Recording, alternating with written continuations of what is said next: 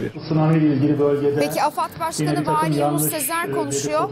var. Halkı yanlış bilgilendiren bir takım e, sanal medya paylaşımlarının olduğu bilgisi geliyor. E, biliyorsunuz tsunami e, e, tehlikesi daha çok denizlerde meydana gelen depremler sonrasında e, ortaya çıkan bir tehlike ve yine aynı şekilde karadan yaklaşık 100 kilometre içeride olan e, depremlerde de yine zaman zaman tsunami tehlikesi oluşabiliyor.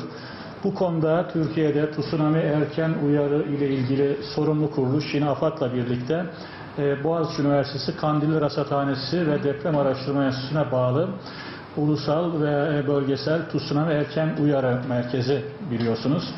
Onlardan gelen herhangi bir tsunami uyarısı yok. Dolayısıyla bu her iki büyük depremden sonra hem 7.7 hem de 7.6 büyüklüğündeki her iki depremden sonra deprem bölgesine e, yakın olan Doğu Akdeniz bölgesindeki kıyısı olan kentlerimizi etkileyecek herhangi bir tsunami etkisinin olmadığını buradan e, söylemek istiyorum. İkinci bir konu e, depremin olduğu bölge yani gerçekten ülkemizdeki en karmaşık fay sistemlerinin bulunduğu bir bölgeye karşılık geliyor. Burada birbiriyle bağlantılı birçok e, aktif fay hattının olduğunu biliyoruz. Bugün iki büyük depremle birlikte aslında çok büyük boyutlu bölgesel katastrofik bir e, depremle karşı karşıya kaldık. E, yine benzer şekilde sosyal medya üzerinden e, saat, yer, tarih, zaman verilerek şu gün şu saatte deprem olacağı konusunda ne yazık ki yine yanlış bilgilendirmeler var.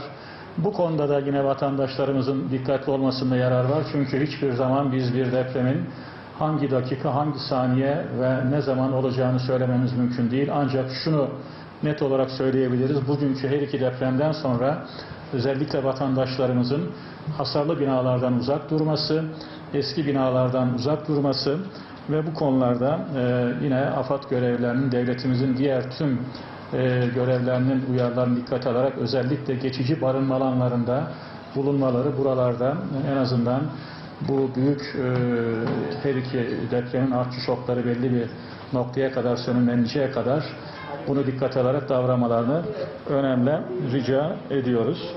Tekrar e, milletimizin başı sağ olsun diyor. Teşekkür ediyorum efendim. Sağ olun. Evet, AFAD Risk Azaltma Genel Müdürü Orhan Tatar tsunami'ye dikkat çekti. Hasarlı ve eski binalardan uzak durulması gerekiyor diye de ekledi. Yayın konuğumuzdu.